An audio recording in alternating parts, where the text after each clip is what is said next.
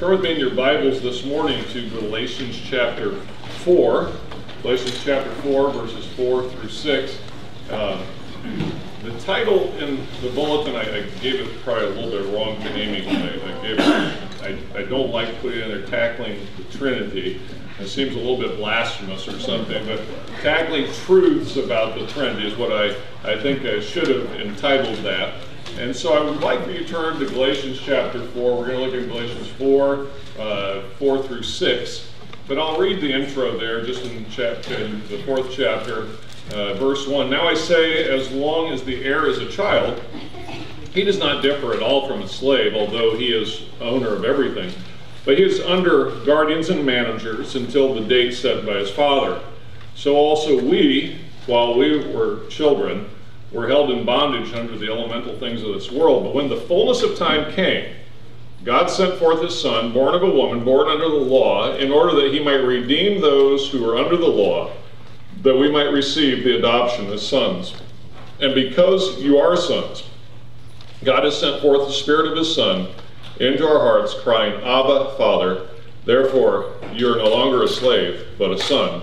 And if a son, then heir through God. Let's pray. Father God, we thank you for your word today, and we pray, Lord, that we might come to better understand uh, this awesome truth about who you are. Uh, one God in three persons, the Holy Trinity.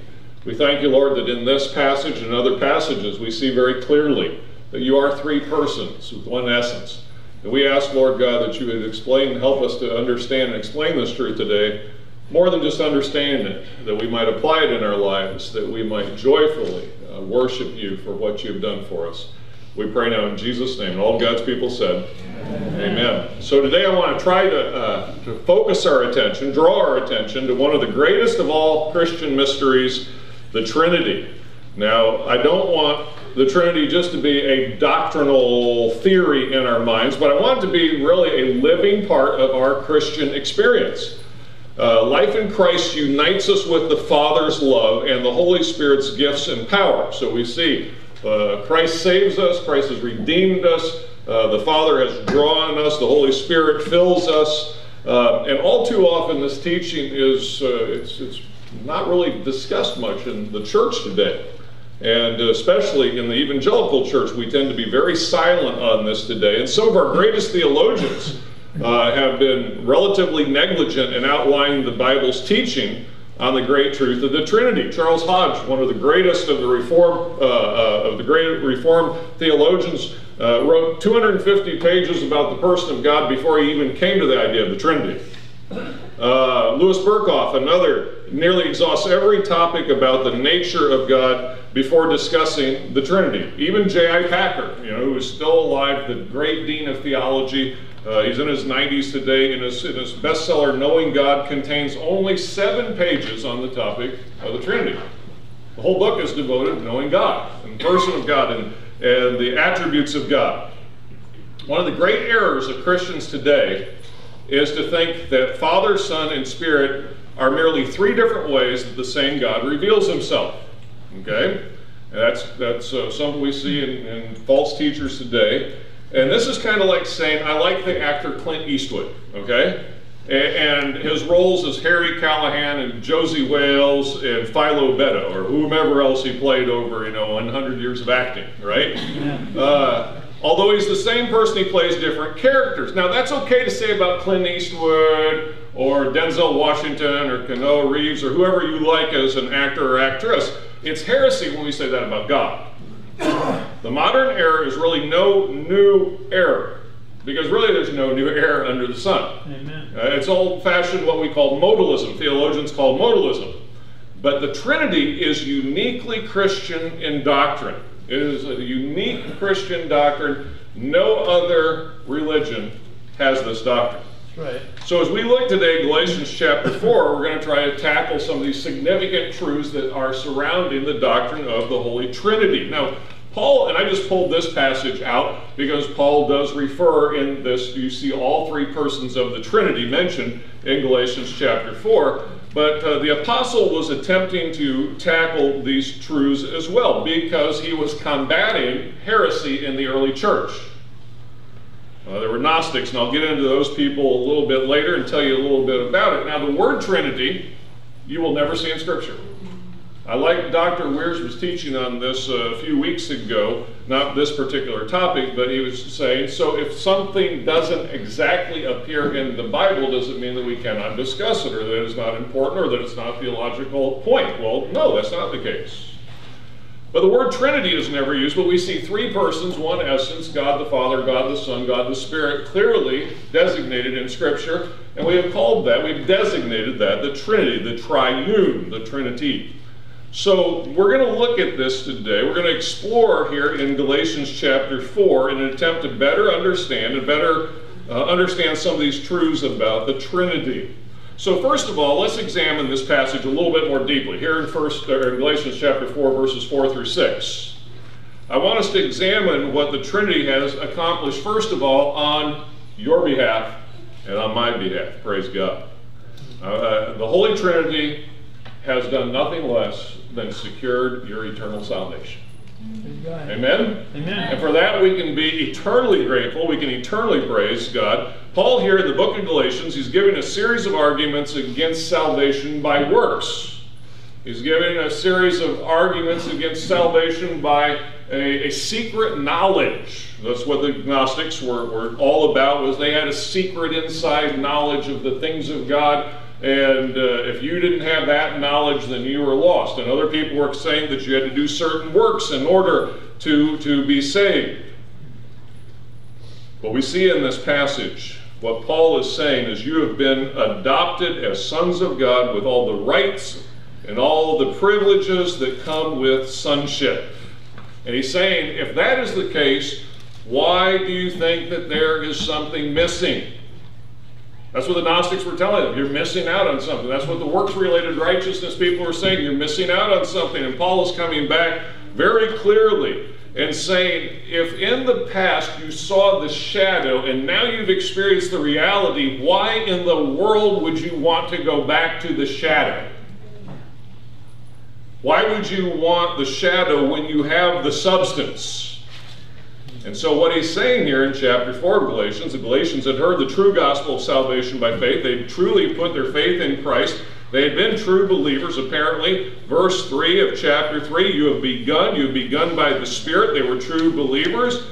And then we read here, you didn't know God, verse 9, but now you have come to know God, or rather to be known by God. He's affirming the reality of their salvation, but he's saying you are on dangerous grounds because you're wanting to go back again to the works. You're wanting to go back again to the secret knowledge.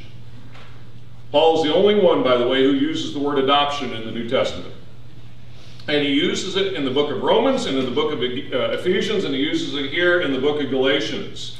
And the word uh, for adoption was a compound word, and it, it meant to place someone under someone as a son. And, and that's what adoption is.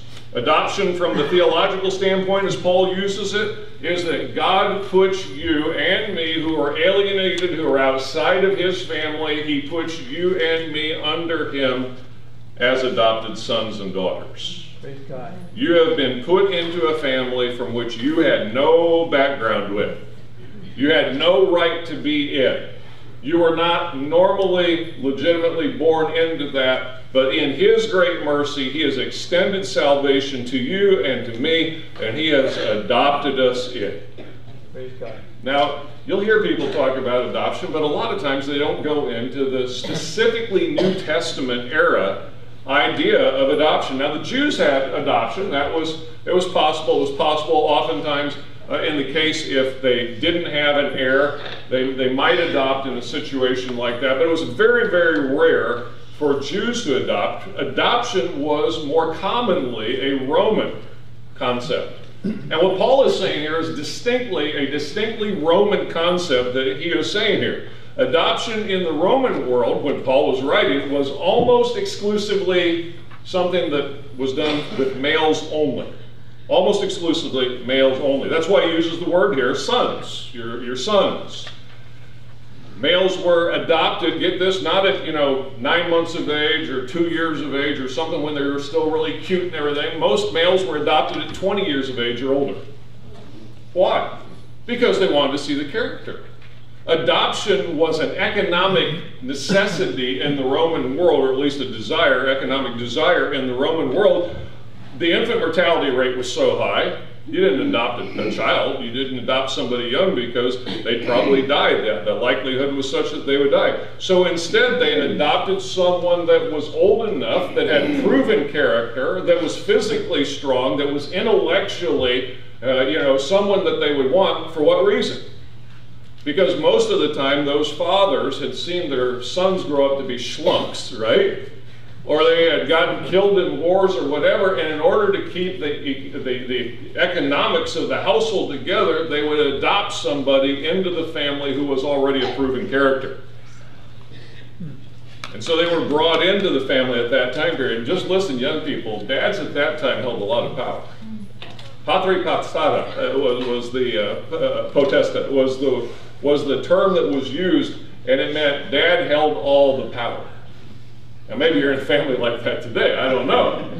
But your father could execute you for any reason, and the law would not be brought to bear on him for doing that. That's power, right? That's when dad says jump, you say how high, right? That was the power in the Roman world that fathers held. And so if they saw a son as a teenager that was sowing too many wild oats, right? That was wild, that was unconcerned, that was, uh, if they didn't want to execute him, they would just say, fine, I'm adopting somebody else who's going to be the head of this family. Now, what was the result of the adoption for the believer? Well, in the Roman world, in which Paul, it was a physical adoption, there were at least four results. You had a new father, you were heir of an estate, that was the primary reason for adoption. Uh, third, all previous debts and responsibilities of adopted sons were wiped out, so if you had college debt, you might put yourself under adoption, right? Fourth, the adopted was purchased with a high price. And guess what? That was the motivation for the poor family to give up their son. Maybe economic times had been hard on that family and they, they, they wanted to raise their standing in the Roman world, and so they'd make a deal with a wealthy family. They'd be paid a heavy price, a high price for their son, and that would lift them out of that economic condition that they had sunk into. Now, all that's fine and dandy for the historical reality of what was going on, but think about the spiritual application that Paul's making then, too. All of us with faith in Christ have a new Father. Amen. Amen? Amen. We are now all heirs in Christ to the riches of all of Christ's glory. Amen? Praise God. My mind goes to uh, Colossians chapter 2, verse 14. Uh, having canceled the charge of our legal indebtedness which stood against us and condemned us, he has taken it away, nailing it to the cross. Your debt, my debt, has been canceled. Amen. Have any of you ever got? Have any of you gotten to that point in your lives where you've paid off the mortgage? The debt is canceled, right? The monthly drear is gone. You know, you get to get beyond that. It's canceled, it's done away with, and the freedom that you have in, in, in, doing that. Well, the freedom that you have in Christ is manifold more than what you have when you're done with your mortgage. Amen. Your debt that you owed against God's righteousness the, uh, that, that was on has been taken upon the cross of Christ. Praise God. So look at verses 4 through 6 here. Look at the, the exclusively Trinitarian theology of this. Look closely at this passage and see all three persons of the Trinity are at work on your and my behalf. Maybe that tells us how great as sinners we really were, right? That all three members of the Trinity had to be at work for our salvation. Look at this. It's a beautiful doctrine. It's a glorious doctrine. It's an incomparable mystery. The Holy Trinity, we see here, uh, each member of the Trinity are participating in the believer's salvation. Look, verse 4 God the Father sends his Son. Verse 5 the Son redeems us and adopts us. Verse 6 God has sent the Holy Spirit into the believer. God the Father has sent God the Holy Spirit into the believer.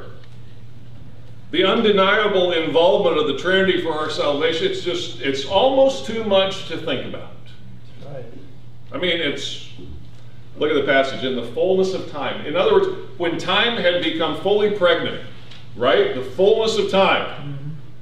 Uh, when the fullness of time had come at just the right time, at the ordained time, at the time of perfection, hundreds and thousands of years, all of this had been uh, had been prophesied, had been predicted, but at the fullness of time, God sent His Son, born of a woman, born under the law. Why under the law? To redeem you and me from the law. Amen. And look at what does it say? Because of this, He has redeemed us through Christ. He has adopted us. Because we are sons, God the Father has sent God the Spirit of His Son. Notice the connection even there. Into our hearts, we who are alienated, we who are lost, we were who had enmity with God, and now we can cry out, Abba, Father. You know what that is in Aramaic? That's, that's daddy. It's daddy. No Jew would have ever said that about God. And Jesus is telling us, when he says that, and now Paul here is telling us, you have a different relationship. No Muslim will ever say of God, my father. No Muslim will ever say, my daddy. Daddy is a distinguishing relationship. You oftentimes hear a daughter talking about her daddy, right? Because there is that deep, sweet relationship that is there. It's a relationship of love and of affection and of trust. It's a relationship of the heart. Right. And Paul says that's what you have now through Christ, through the Holy Spirit, through God the Father. You have that relationship, and that's how we can cry out.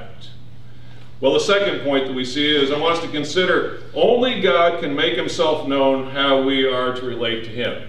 I'm going to take a break here just one second. Guys at the back, turn off the fans. People are freezing, right? Amen? Okay. Thank you. I just saw that. I can see people are chattering. So it's great. It's keeping them awake, you know. It's fine. But, uh, but I'm afraid that there's going to be hypothermia before too long. So, second of all, consider only God can make himself known. And God has made himself known as a triunity, a trinity. So, God is the only one that could have made himself known to us. God initiated the action so we could know him. Don't sit there thinking, oh, I could have known God. I could have known God. No, you wouldn't. You would be a blasphemer, a heretic, or a pagan. Those are your options, right? Or a mixture of all three. God had to show himself to us because God was what? Unique. And this is really the problem, and I'll try to make a couple of feeble illustrations about the Trinity. But you know, at the end of the day, you can't because he is unique. He's unique. There's nothing else in all of the universe like the Trinity. So when I use a shamrock illustration, or I use this or the other illustration, it doesn't really hold water because God is unique.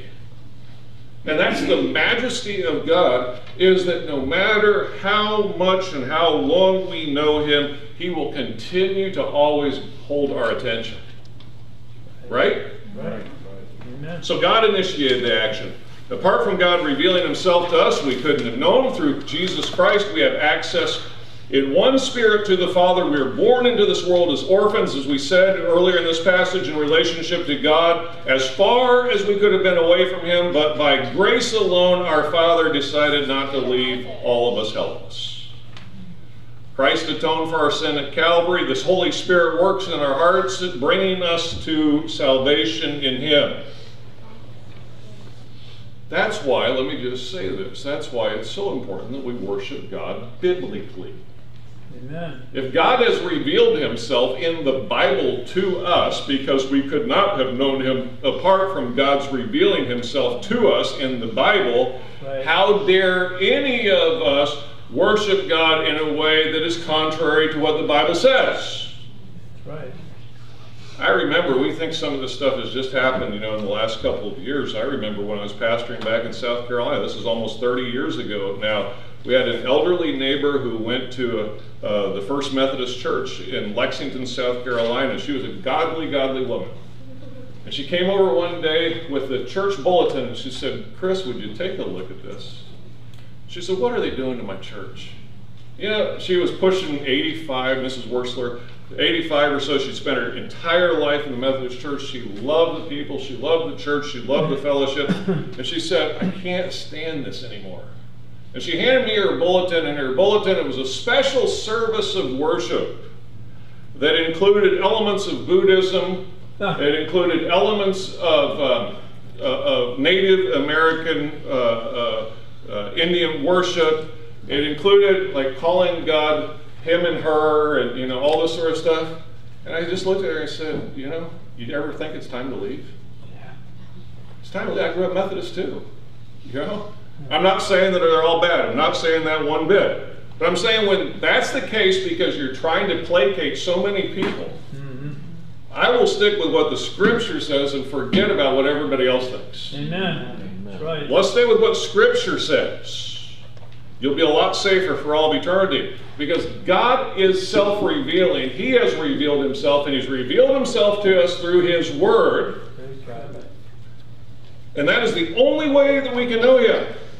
Amen. Nobody can fully, I, I, I stand up here today with a tough assignment because I don't think anybody can fully explain the Trinity. I've read a lot of scholars and what the, the theories and that they have pro, pro, propounded. Uh, I've read the, you know, the hypotheses that some of them have about it. The, the entire concept of a Trinity is illogical. It's beyond logic to us. It's not something that we can make up. Nobody would attempt to make this up by human logic. Only God can make this up, if you please. God had to make himself known to us because we couldn't have known. Now, think about this. Uh, Carol and I had five kids. And as parents, guess what? We got to name the kids. That's the prerogative of parents. If I'm going to pay for, you know, the next 20 years of your life, I get to call you what I want to call you, right? so, you know, so we gave them the different names. Naming a child is the norm for the parent because he or she is seen as the sovereign in that relationship. In the Old Testament, Adam, under the creation mandate, exercises dominion over the animal world by doing what? He names the animals, right? He names the animals. He goes, he is the one that gives. The squirrel doesn't come up and say, by the way, I think your name is Adam, right? Adam says, squirrel, you're a squirrel, okay? That's the way it works out because there is a system of authority within this. Never ever in the Bible does a human give a name to God. God gives his name to us. We understand that he is self revealing. He reveals, and his name oftentimes is tied, often is tied, always is, I think, to his character or character traits. And when we go along today in our little self important worlds in 2020 America and we say, well, I think I'm going to call God she, or I think I'm going to call God it, or I think I'm going to call God Big Bam in the sky, or whatever else. Yeah. God says, don't call me that. I've given you plenty of names in the Bible that you can call me, that you can refer to me. Mm-hmm. Refer to me by those. Refer to me in this way because he has named himself. He has revealed that, and it's absolutely repugnant and it's theological nonsense for us to come up today with these gender inclusive and all these other types of terminologies to be able to, in some way or another, try to placate our society so that we look better in their, in their eyes. That's right. They could care less about how you look. They simply want you to wash out and water down the truth. Amen. Thus, in order to know God, God is sovereign in his relationships to man, and God makes himself known to us because we could never have known him. Do you remember one of God's best friends, humanly speaking? Moses, right? Mm-hmm. Moses got to go up on the, the mountain, got to see the burning bush, got to get the law, all those things. Moses said, God, can I see your face? God says, No, you'll die if you do that. Right? I'll hide you in the cleft of the rock. You can see me pass by, but if you see my full glory, you will die. Right. And what is always in the nature of man is to try to denigrate the image and the nature of God. try to demean that, try to belittle that instead of rejoicing in the absolute glory that is the person of the Trinity. Amen. And so pagans come up with trees and rocks and other things like this. And today we have our own pagan worship in our society today, right? And we do that. Why do we do that? Because we are exchanging the glory of the self revealed God of the universe for our little idols in an attempt for us to name and manipulate God into being what we want him to be. Right. God had to make himself known because guess what? Our sin separated us from God. The Bible tells us we were dead in our trespasses and sins. I don't know of too many dead people that are able to convince themselves of something other than that reality, right? Yeah. We were, the Bible tells us, blinded by the God of this age. Our wills were held captive to our sin. People say, well, I can use my reason. Your reason is fallen. Amen. Your logic is fallen. When this comes, God has to reveal himself to us, and he has done it through his word. Right. God has broken down the barrier of death and separation, the darkness that we were en- encapsulated in. He has rescued you and me. God. God has revealed himself in our salvation. And he has revealed himself in our salvation as a trinity, here we see. Why was Paul writing to the Galatians? Again, heresy, denial of sound doctrine, all this that was going on. Nothing new, by the way. The same doctrines that we see are we see around us today. It was called the Arian heresy back then, and uh, it's not white guys with skinheads. It's not that type of Arian. It was a it was A R I A N. Okay, a, a different type of Arianism, and uh, and we see that today, whether it be in Jehovah's Witnesses or or in other groups like that. It was heresy. Listen, I haven't given you a definition yet of the Trinity. I wanted to hold it back for a little bit, but one, arguably one of the best, most succinct theological statements on the Trinity says this. How many persons are there in the Godhead? The answer is this. There are three persons in the Godhead. God the Father, God the Son, God the Holy Spirit. Mm-hmm. And these three are God, the same in substance, equal in power, and in glory. You say, Chris, that's simple. Yeah, you try to write it, right? Yeah. You try to come up with that. One of the greatest doctrinal statements in the Old Testament, let me take you back to that just to prove this point or underscore this point a little bit better. Deuteronomy chapter 6, verse 4 is the Shema, right? Hear, O Israel, the Lord our God, the Lord is what? One. One. Now, do you know how that really reads out? Hear, O Israel, the Lord our plural God is one God. The word that's used there is plural God. Echad is the word that's used there. And do you know what? When God said concerning A- A- Adam and Eve, the two shall be what? One. One flesh. Guess what word was used there? Same word. Hmm. Two become one. Echad. Uh, God, hear, o, uh, hear, o, o, o Lord, the Lord our God, the Lord is one. Echad, God. Plural, but one. I don't understand it. You know, don't look at me like that. But I believe it. The God who has made himself known for our salvation has revealed himself as a triunity, a, tr- a trinity. The three persons are of the same attributes in their will, in their purpose. What one wills, the other wills. That's how Jesus could say, I always do what? My Father's will. I'm always about my Father's business, right? That's why the Holy Spirit comes to do what? To glorify Christ in everything that He does. There is an absolute harmony that is held together there in the Trinity. Amen. You say, I can't grasp this concept of three different things and one still be one the same. I don't know if I can illustrate it. Okay? Seriously. I, I read one illustration, and it's like if there was a treaty between uh, France and England and Germany, and it was done at the United Nations, and the treaty would have to be the exact same document, would be signed off on if it was in English, if it was in French, and if it was in German, and the terms and the conditions in that would all read the exact same. But they would be three separate documents written in three separate languages, but they are essentially all the same doc- document. Yeah, better than I can do. Yeah. I don't see you coming up with one better, so, so I think it's pretty decent, all right? At each stage of redemption history, God has made himself known. He's the one that makes himself known. El Shaddai in, uh, in the Abrahamic covenant, Genesis chapter 17.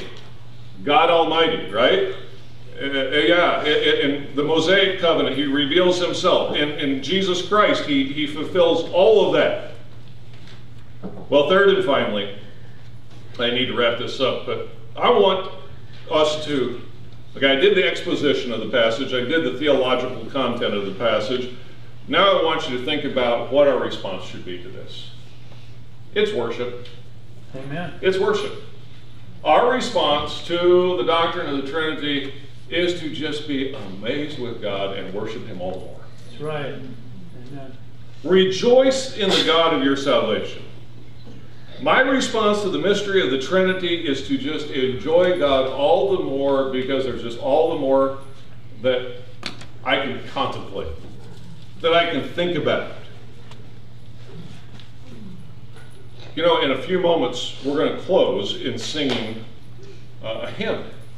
And I don't know if we've ever sung this hymn before, okay? And I'm not there yet. Don't worry, I've got about five, ten more minutes, but, but don't worry. But I had to search far and wide in our hymnal to find a hymn that was truly Trinitarian. Okay? What do I mean by that? 95% of all of our hymns could be sung by Muslims or Jews, uh, you know, because they're just pointing to God. God. Now, there are some that are exclusively about Christ, and that would obviously be different.